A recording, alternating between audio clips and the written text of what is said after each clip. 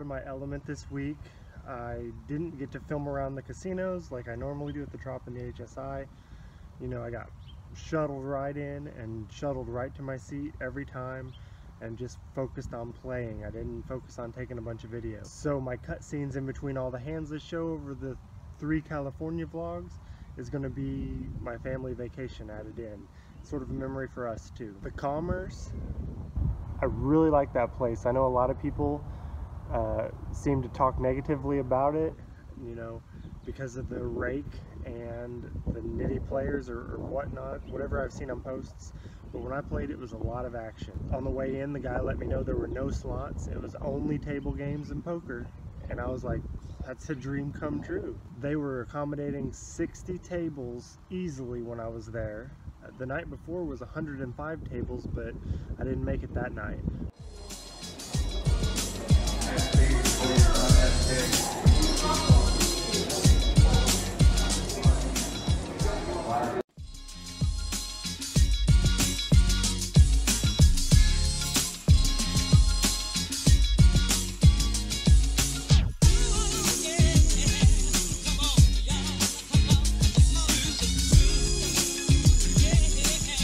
Alright, my YouTube rail.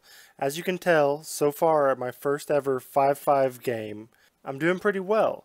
Of course, I'm playing pretty snug. I've only taken down a couple of big pots with raises and c-bets with some pretty premium hands. Still trying to get comfortable with what everybody's raising or what everybody might be calling with, and I have a lot to learn from 5-5. We'll see if these three sessions in California help the upcoming Vloggers game, link below, which I believe is 5-5 1000 max. In this hand I get Ace Jack of clubs in the small blind.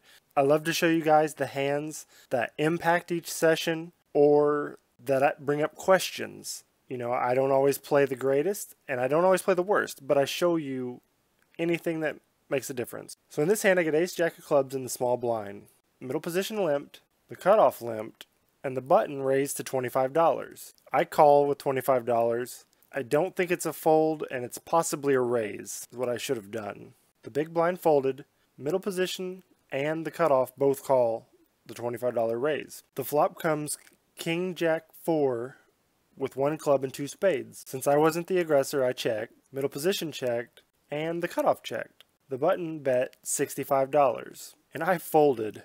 It kind of makes me sick to see this hand but in all honesty, I felt like I was already beat with the king out there, either by the button or two guys after me, so I let it go.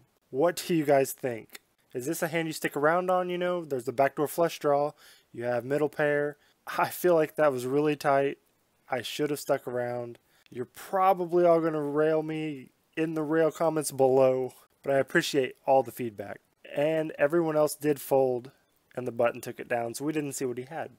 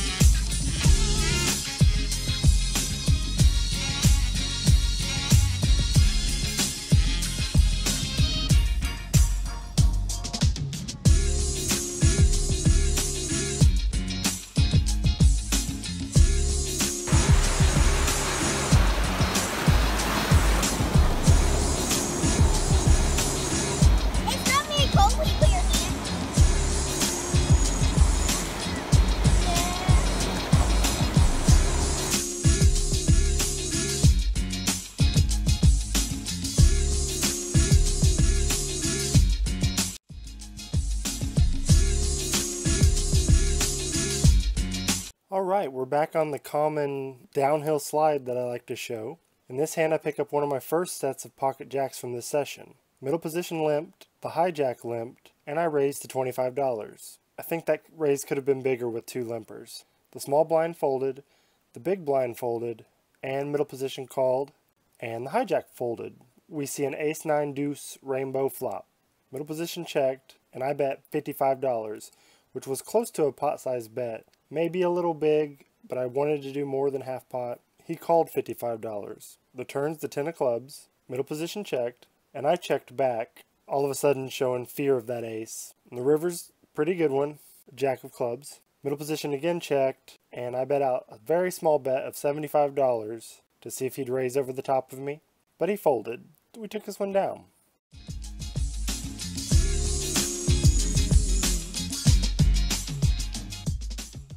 Now we're looking at pocket nines in middle position. It folded around to me. I raised to $20. The button called $20. The small blind called. The big blind called. We see a 663 rainbow flop. The small blind checked.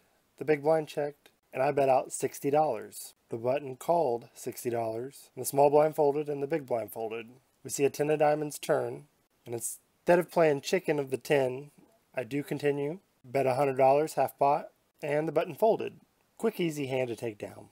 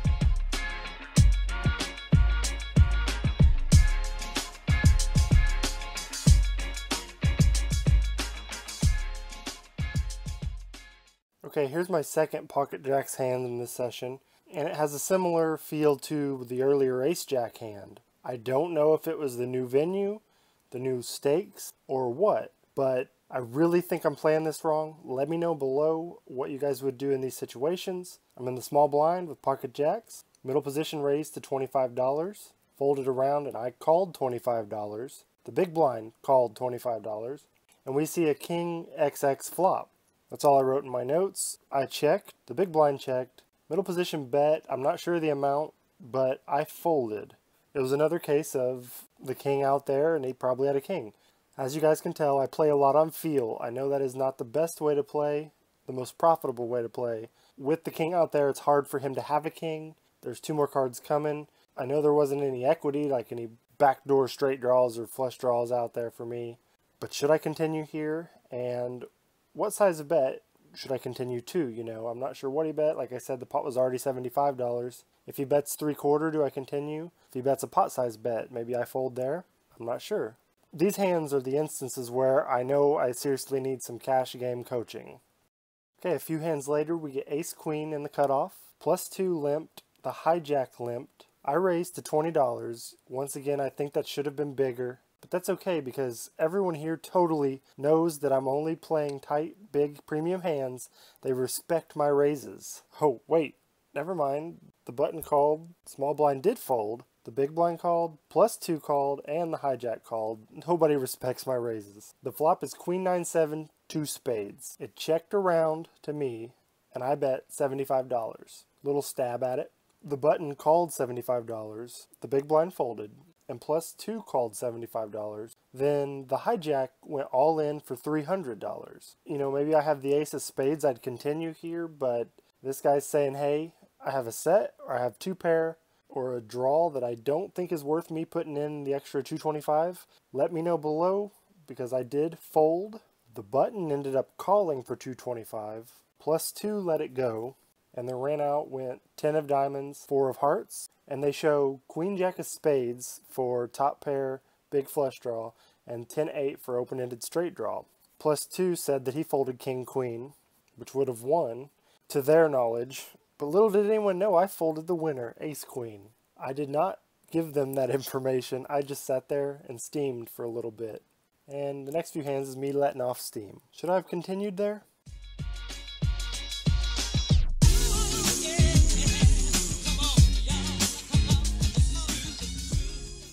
Ace 10 in middle position. I limp. Super. The cutoff limped, and the blinds check. We see a King Jack 7 3 club flop. It checked around. I decided not to bet. Should have bet with the ace clubs, but I'd take the free card at this point and see what anybody wants to do. It ended up being a 3 of diamonds. The blinds checked again. This time I took a big stab at it with my potential one card nut flush draw coming out. I bet $60. The cutoff called $60, and the blinds folded. The river's the ten of spades. Now I have some showdown value if he was on a flush draw and missed, but that's not good enough for me. I bet $85, a little over half the pot, to which he called $85 because he had Jack 3 for two pair. How bad did I play that one?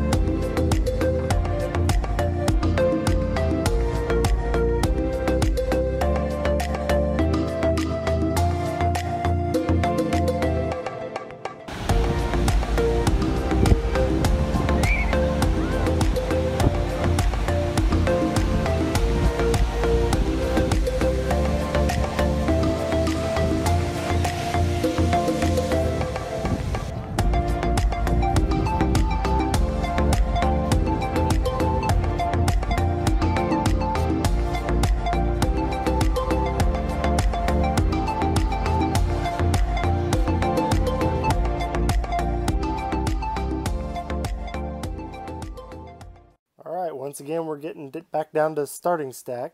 I have Queen Jack of Diamonds in the hijack, under the gun limps, middle position limps, and I raise to the spectacular $20. The button calls, that guy called every hand I was in. The small blind called, the big blind called, they respect my raises, the under the gun called, and, of course, middle position calls. The flop is Jack 5 4, a rainbow.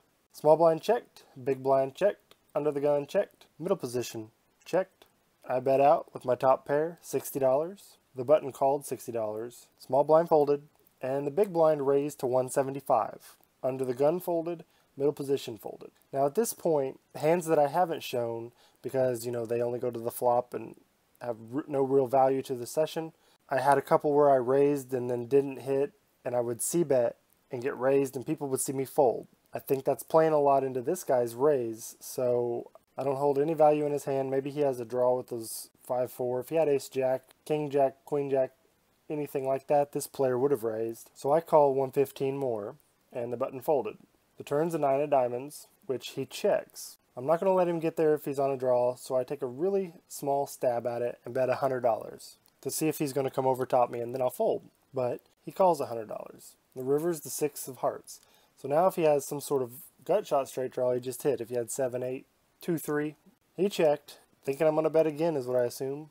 But I do bet again. I bet $200. Another small stab at it. You know, trying to induce an over the top so I know I can let it go. Probably not the best way to play, but he folded and I took down a pretty decent pot.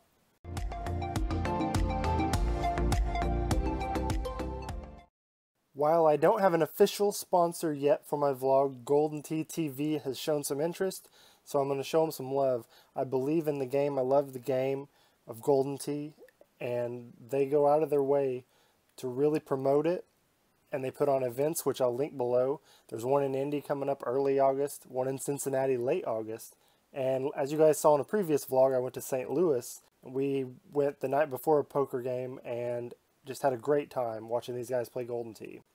All of their links below. Please show them some love if you'd like. And if you do stop by, tell them Hello 7027 sent you. That'll be awesome. Maybe one day we can work on some giveaways or something. So this is the GTTV hand of the session. Another time with Pocket Jacks in the big blind. Middle position raised to $20. The cutoff called $20. The button called $20. Small blind folded. And I called $20. Coulda, shoulda been a raise. I don't know. Let me know. We see a 874, two spade flop. I check. I'm going to call the raiser's aggression. The middle position checked, so the raiser is showing no aggression. The cutoff checked, and the button bet $60. Okay, so maybe he has a piece of this hand, maybe he's on a draw. I'll call $60, which is weird against the other jack hands and the ace jack hand. You know, if there was an overcard, maybe I wouldn't call that bet. Middle position folded and the cutoff folded. The turn is the king of clubs. I decide to rep the king, bet out $100, try to induce a fold, or shove over the top. That way I know I'm not good. But he just called $100. The river's the ace of clubs. Another scary card. So scary, in fact, that I checked. And he went all in in a weird way. I can't even explain it. The way he put his three stacks of 100 out there. But I didn't like it, and I thought about folding. But then I pulled my cards back, because as soon as he put his chips in, he went to his phone. I didn't see this guy on his phone a whole lot. It was really weird. I know tells, they can bite you in the ass, and unless you have a really good tell, they really aren't worth a whole lot. But watching this guy, he was like he was scrolling through something. Maybe Instagram, I don't know what he was looking at. But his thumb was going 100 miles an hour. And it wasn't fluid. This is really stupid, but it wasn't fluid. It was like his thumb was getting locked up as he was moving. It was he was trying to show finesse, but he was stumbling. It was kind of like me dancing or something. Just watching him, and he wouldn't look up. It really made me believe that he totally bricked this hand. So even though it would dwindle my stack down again, I think my jacks are good. So I call three hundred dollars, and he mucks. He mucked his hand. I show my jacks, and the crowd goes wild. Just one of those rare hands where you just know it. And you can be wrong sometimes. Sometimes you can be right and have these beautiful chips sitting in front of you.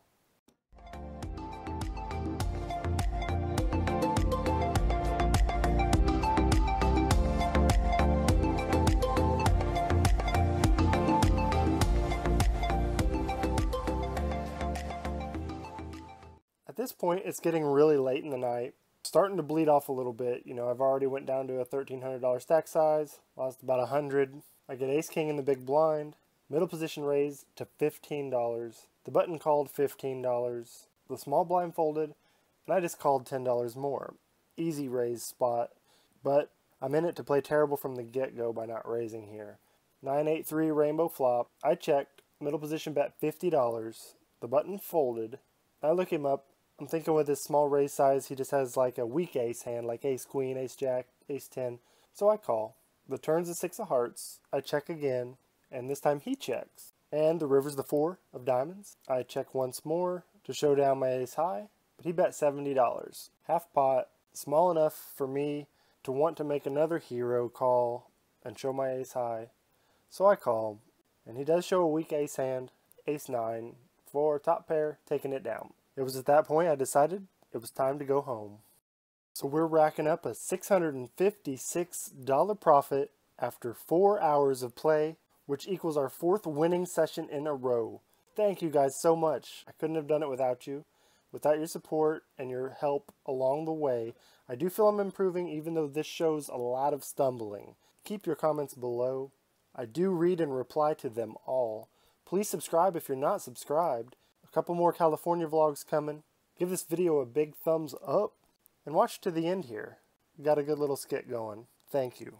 And guys, don't forget about the Vloggers game next Wednesday, July 26th at 7 p.m. Pacific, streamed on Stones Live Twitch, and then it'll be played back on their YouTube channel. A lot of the top vloggers will be there. It'll be commentated by Bart Hanson. I know I mentioned the Vloggers game in the last few vlogs. We're about past it, but I do mention it every single day at home. My wife is probably getting tired of it. She said if I mention it again, that I'm going to have to find a place to sleep until it. Babe. So today in my poker session, who is at my door? Man! Somebody's at my door. Let's go check it out. All right, I'm coming. I'm coming. I'm coming. I'm coming. I'm coming. I'm coming. Jeez. Dale, Dale, Dale, dude. Rayz, my man, my buddy. What are you doing here, man? Good to see you. Great to see you. This is a pleasant surprise. Who's with you out there? Oh, oh. That's just my flying buddy. I didn't even know you knew where I lived. I know we're friends and everything. We go to Vegas and do all these little poker trips, but you never been to my house. How do you how did you get my address? You know, I checked your drone footage and I calculated your odometer in your truck from when you were in your garage in that one video This is weird. This is getting weird, man. To later videos when you were at the poker room. This is getting weird. Triangulated some distances and some math. Dude, Took some guesses. This is the third place I've been to today. I'm confused, man. I'm just I'm confused. My wife told me to look for a place to stay for the vloggers game and The poker vloggers game. It's like it's like two away. Come on in. Let's get a drink. Let's talk this over.